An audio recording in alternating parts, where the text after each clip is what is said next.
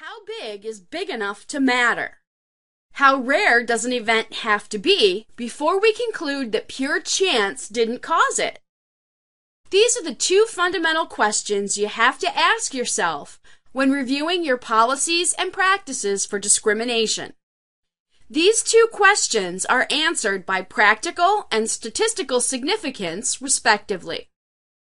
Statistical significance has a generally accepted rule of thumb that makes it relatively easy to determine if an event is rare enough to conclude that pure chance didn't cause it.